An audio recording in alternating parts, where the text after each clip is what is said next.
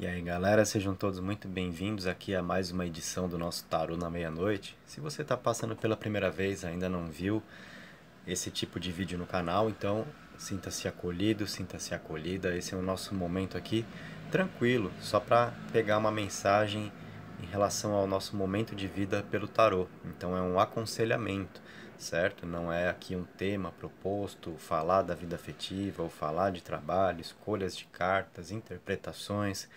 É só uma mensagem retirada do tarô na forma de um aconselhamento para o nosso momento de vida, tá? Então a gente já deixa um arcano ali selecionado, que está virado, junto ali com o nosso mago ali, né, à esquerda. E vamos ver qual é o arcano de hoje, então. Temos o arcano 3, a Imperatriz para a gente passar um recado do tarô para você hoje. E a Imperatriz mostra que é um momento para a gente relacionado à autoestima. Então o tarô te convida a olhar mais para si, você gostar mais de quem você é, mais cuidados pessoais, autoestima mesmo, tá? A Imperatriz ainda fala sobre crescimento. Então, de repente, você enxergar quais são as oportunidades que a vida possa te oferecer nesse momento. E aí você colocar em prática, em exercício, a criatividade, a comunicação, fazer o bom uso da comunicação, se expressar, falar dos sentimentos, falar o que você pensa, não ficar guardando as próprias ideias, tá? É pensar que as portas se abrem quando você pode ser visto, quando você pode ser vista, né? E se você não mostra quem você é, se você não mostra o seu potencial, então você não consegue tantas passagens na vida. A imperatriz, como um terreno fértil nesse momento da sua vida, pode mostrar que é um momento de oportunidades, tá? Mas depende muito de você encarar desse modo. Depende muito realmente de como você está se sentindo, né?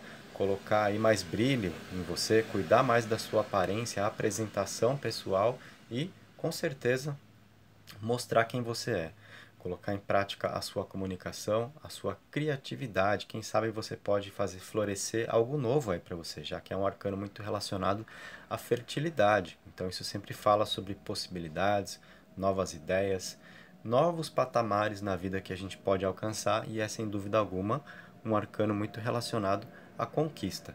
Certo, gente? Então esse é o nosso recado aqui do tarô na meia-noite para você. Não importa se você está comigo nesse horário ou se você não pode estar e só vai ver depois. A mensagem tem validade para você do mesmo jeito, certo? E para você que ficou até aqui, então, como sempre nesse horário, eu te convido a esticar mais um pouquinho no YouTube e ver o meu vídeo do outro canal aqui sobre espiritualidade. Hoje eu falei por lá a respeito de sonhos estranhos que a gente acaba tendo nesse período de quarentena. Talvez você esteja passando por isso agora, talvez você tenha passado recentemente, conhece alguém né, que está sonhando com um monte de coisa maluca e não entende nada.